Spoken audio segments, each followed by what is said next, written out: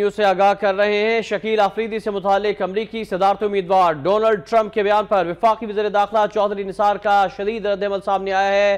شکیل آفریدی پاکستانی شہری ہے اور اس کا ٹرائل پاکستانی قانون اور عدالتوں سے ہی ہوگا۔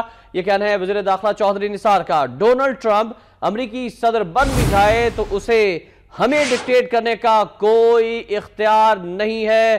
واضح طور پر یہ کہا ہے وزیر داخلہ نے۔ ڈونلڈ ٹرمپ نے امریکی صدر بننے کی صورت میں شکیل آفریدی کو رہا کرانے کا اعلان کیا تھا اور یہ وہی شکیل آفریدی ہیں جنہوں نے امریکیوں کی معاونت کی تھی ایبڈ آباد آپریشن میں، جس میں امریکیوں کا دعویٰ تھا کہ اسامہ بن لادن کو ہلا کر دیا گیا تھا۔ ایک بار پھر آپ کو آگاہ کر رہے ہیں، چودھری نثار کا رد عمل سامنے آیا ہے۔ امریکی صدارتی امیدوار ڈونلڈ ٹرمپ کے بیان پر، جس پہ ڈونلڈ ٹرمپ جو کہ پہلے مسلمانوں کے خلاف بیانات دیتا رہا ہے، پاکستان مخالف بیانات دیتا رہا ہے اور مسلمانوں کو امریکہ سے نکالنے کے حوالے سے بیانات دیتا رہا ہے۔